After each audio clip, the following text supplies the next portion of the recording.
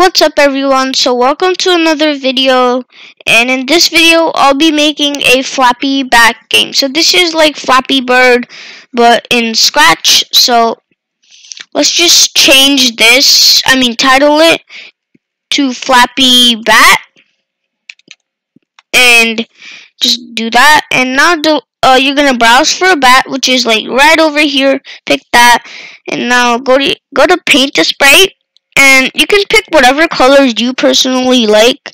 I'm just gonna do this for the video because I don't want to make it that complex. Alright, so now you're just gonna make like a pillar in Flappy Bird. So you're just gonna do this, do this, and um, yeah, so you got that done.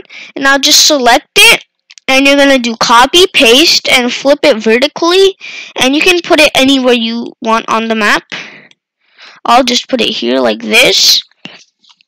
And now you can duplicate these to like three and you can arrange them in whatever way you pers you like. So I'll do something like this and for this I'll do something like this and now just go over to your code for the bat uh, for the sprite one. It's very easy. Just grab a one green flag clicked. Go to your look switch costume to costume one. Grab a forever loop. Go to motions and put this all the way at the edge of the map. And you go to X and Y and now put this at the other side of the map. And you're gonna see this glide and put that in there. So now you can um change this to like four or five and now you can see that it's gliding over there from the other side to the other side. And uh, you're also going to want it to switch the costume so it won't be just the same thing right?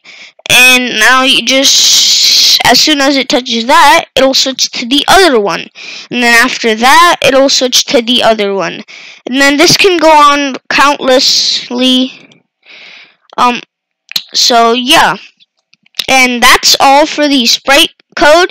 Now go to your back code. So as you guys probably know, in um, Flappy Bird, the bat, like the bird or the bat, is always falling to the ground, right? So let me just change the size of this and go to your events, grab a one green flag click, go to your, grab a forever loop and go to motions and do go to X and you don't need to put anything unless you um put it at the top corner and then you're gonna put a motion block to go to uh, X and Y. And now you're gonna do change Y by negative 4 and now you can see it's gonna go all the way to the top and we'll be changing it right like that. Go to your events and now grab a one space key pressed bot event. You're gonna go to your controls and grab a repeat.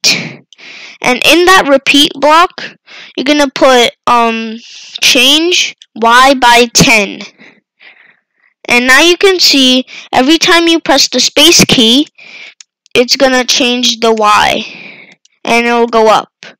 And if you don't press it, it'll fall down, right? So, uh, let's just choose the backdrop. Uh, oops, choose it. Blue sky. And I'm going to change the bat size to 50.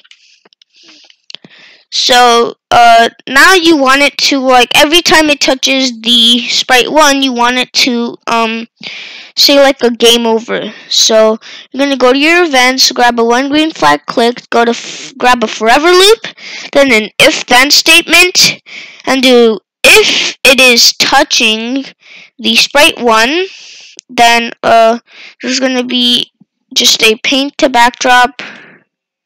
Oops just pick like the blue sky right here. And now uh, I'll just make this like black for the game over screen. And you can do it like that. Stretch it out a bit. There you go. And make sure you change the color of this or else you can't see it. So now just write a message saying game over stretch it out and put it right there like that.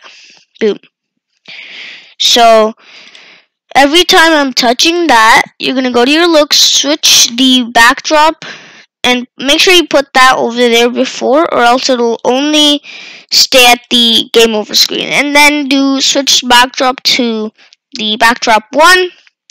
And then you're going to go to your controls, I mean looks, and do hide. And every time you use a hide, you're going to want to use a show. So just put a show over there and just um and also you're going to broadcast a message so that the um the so this will just be a hide hide message. And then whenever I receive the hide message I'm gonna hide.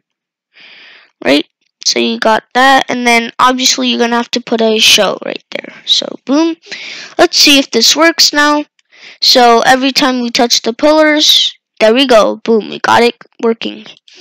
Now, let's see if we can go past it.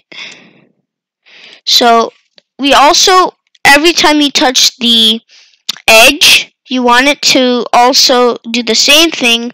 So just duplicate this and do this edge. So now you can see every time we touch the edge, same thing happens. And every time we touch the pillars, same thing happens. So let's try to go through some levels and see if this we can actually beat the game because this is a really hard game since it's in scratch um you can't really do that much but we can try our best to beat it. As you can see, I got through one level. And yeah. So, that was it for the video, guys. Hope you found this tutorial fun and helpful. And I'll see you in the next video. And make sure to like and subscribe. And yeah, so bye, guys.